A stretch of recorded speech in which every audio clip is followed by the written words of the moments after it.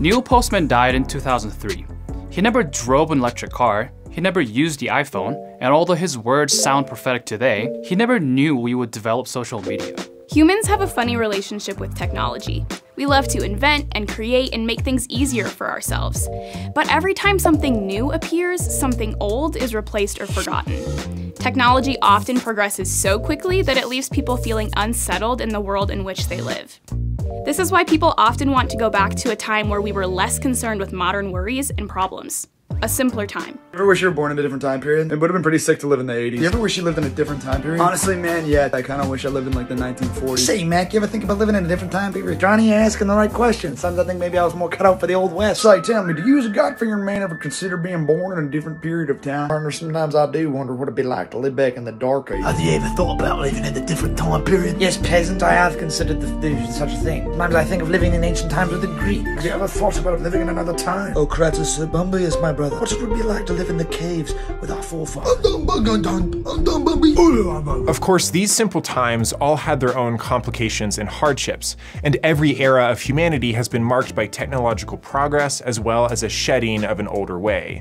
And people have always believed the way they grew up is the right way. Computer scientist Alan Kay puts it simply technology is anything that was invented after you were born, everything else is just stuff. But the last hundred years have marked a dramatic period of technological advancement. We split the atom, we walked on the moon, we decoded the human genome, we can swipe on our pocket rectangles a few times, and magically, a pizza will show up. And sometimes it does feel like magic. But other times, it can be a little unnerving, like deep fakes where we can edit our faces to look like anyone in the world. I'm gonna show you some magic. It's the real thing. I mean, uh, it's all the real thing. But the greatest technological advancement has probably been in our ability to spread information and communicate with one another. When Gutenberg mechanized the printing press in 1436, it marked a turning point in history for this. In modern times, the internet and social media marks a similar dramatic turning point. Instead of a Gutenberg, we got a Zuckerberg. Before we go any further, let's ask a question. With the people around you discuss this. Is new technology always a good thing? When could it be not a good thing?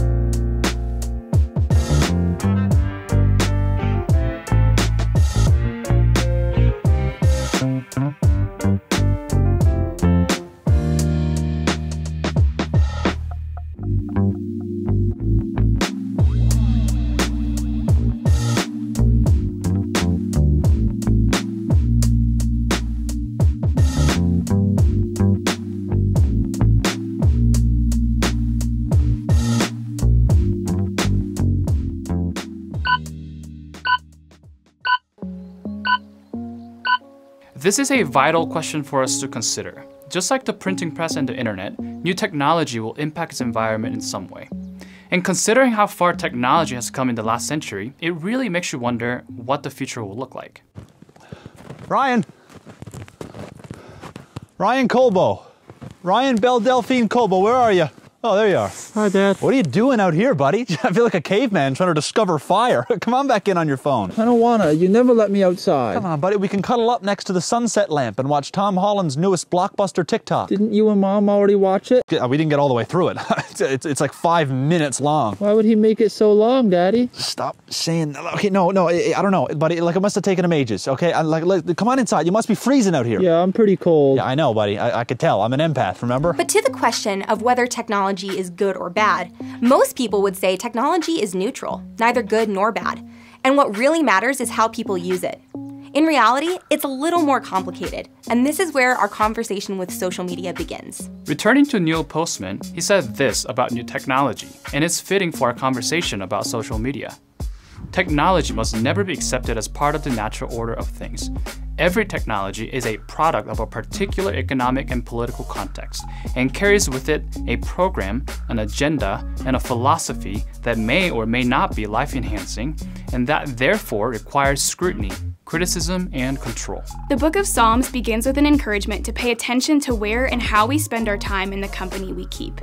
Using the image of a tree planted by a stream, it invites its readers to examine where they find their nourishment and fulfillment. Like a tree planted by streams of water that yields its fruit in its season, and its leaf does not wither. In modern times, we should be paying attention to those streams by which we are planted. If social media really does affect us, we should pay attention to how it's affecting us, to use scrutiny, criticism, and control like Neil Postman encourages us to.